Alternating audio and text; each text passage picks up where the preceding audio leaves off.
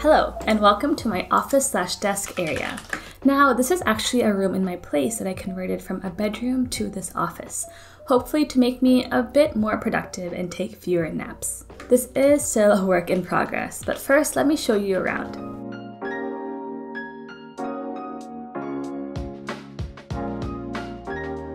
And this right here is my beloved desk. I got it back in 2011, back when I was an awkward sophomore in high school. So this has been with me through all the failed exams, all the all-nighters, college apps, and uh, whatever I'm doing now.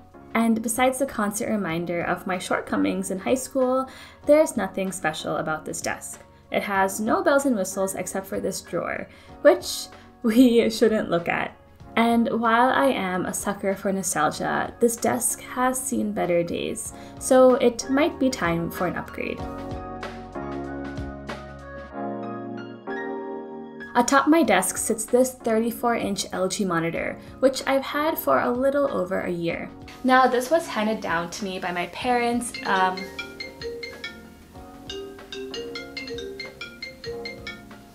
must be all my friends. While the upgrade to an ultrawide monitor certainly was not necessary, it does make it a lot easier to edit my videos. At least, that's what I like to tell myself. Now, I could jazz this up with a monitor stand or some type of wall mount situation, but I don't really want to invest any more money or time than I need to. And unless I want to pull a Joey with a power drill, I should just leave this as it is.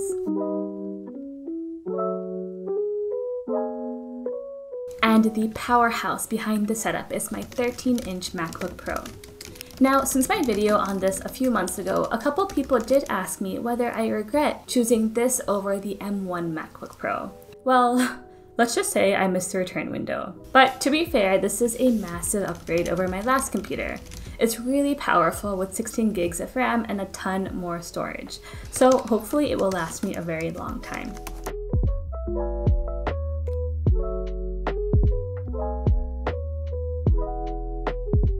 Just to take extra special care of this laptop, we've got this laptop stand, the M stand. This is another relic from my school days, but I got to say, this has lasted really well.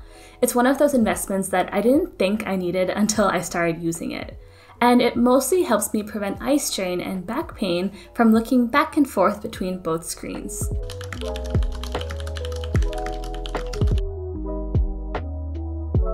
Now, perhaps my favorite item on my desk is this keyboard. While I never imagined myself to be a mechanical keyboard type of gal, I just couldn't escape the beauty of this keyboard. I love the dose of color it adds to my desk, the little sea creatures that distract me from work, and the pleasant, ever so subtle clicks of the keyboard that my roommates just love. Besides that is this little $20 Redragon gaming mouse. Now, I am not a gamer at all, but I wanted to find a relatively inexpensive mouse that was a little more unique than the standard. While this isn't perfect, it gets the job done and kind of matches my desk setup. And the final piece of tech on my desk are these Audio Technica headphones. And I had a similar pair to these for nearly six years since freshman year of college, which have now found a loving home with my parents. But these are great for when I want to appear really busy, or just to secretly listen to K-pop or trashy Telugu songs while working. While the setup is rather simple and isn't fully optimal, I've been slowly improving it over the past two years to work for me and the type of work that I do. In fact, I used this very setup in the early days of my channel when I used to make coding projects nearly every single week. And while I don't program much anymore, when I do get back into it, I'll be using DataCamp, which happens to be the lovely sponsor of today's video. DataCamp is an online learning community that offers a combination of interactive video classes, practice exercises, and even full project guides in Python, SQL, R, and many more. Their bite sized lessons allow you to learn in a way that fits your schedule, whether you're at your desk or on the go.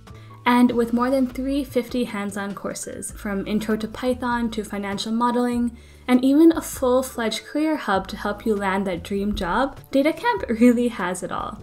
You can get unlimited access to all of their courses, including specialized career tracks, starting at only $25 a month.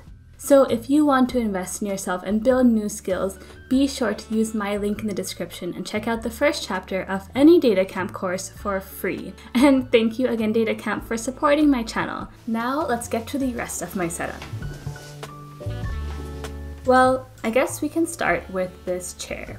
Okay, this chair just kinda sucks. Since I've been using it for two years, I've grown used to its flaws, like these bulky armrests that I can't remove, or the fact that I'm constantly bumping into my desk, or that it's way too pillowy to resist a quick afternoon nap. And then we've got this chair pad, which I have a love-hate relationship with. I love that I can swivel around my office like a boss lady, but I hate that I'm always sliding or slipping around when I don't want to. Okay, let's talk desk accessories. I've got this mouse pad, which was honestly just the first result on Amazon. I've also got a variety of dongles, cables, and cords for my laptop. And we've got this charging stand, which theoretically should help me keep my phone away during work. But it also makes a great YouTube watching stand, so it is what it is.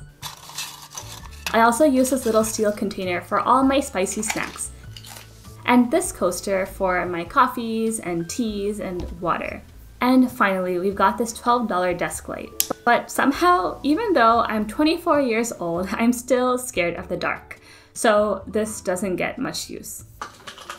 Now, you might be wondering, where is all your stuff? Don't worry, I'm not a minimalist.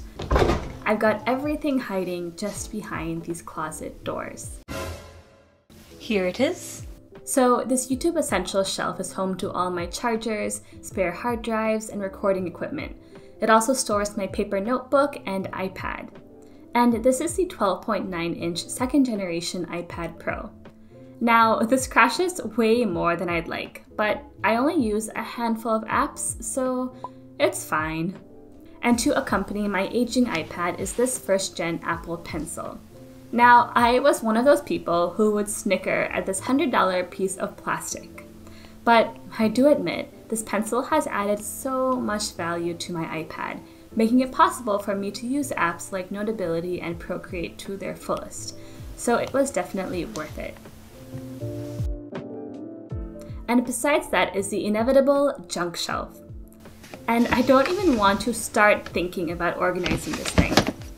I mean, we've got a jumble of dongles, a humidifier, keyboard, old mail, my bullet journal from college, back when I wanted to work for Facebook, and what seems to be my life savings.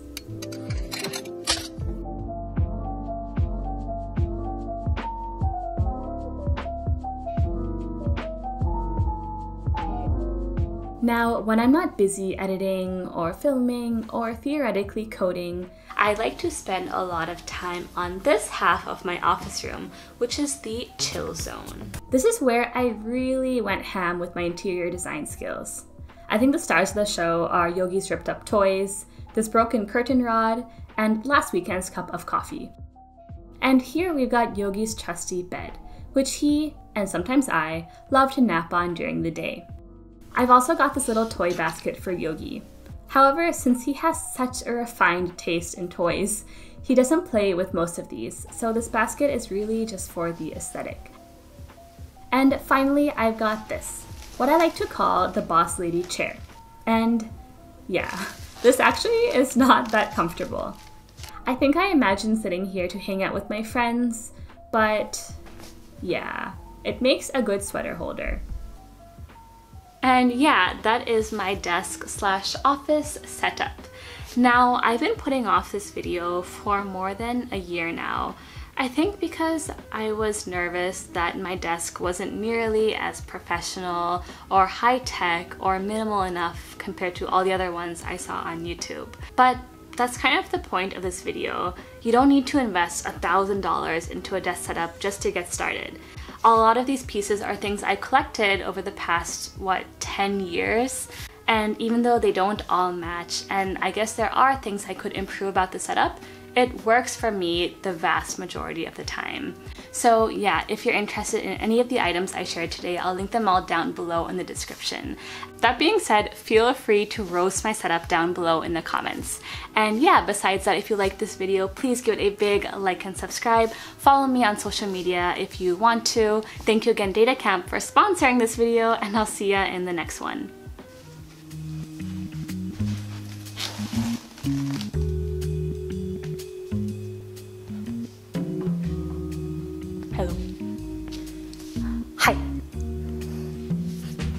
So cute. What? This is a desk setup video? Oh, okay, let's go. Now, if we move on to the plastic. Oh, oh, oh, oh, oh, oh.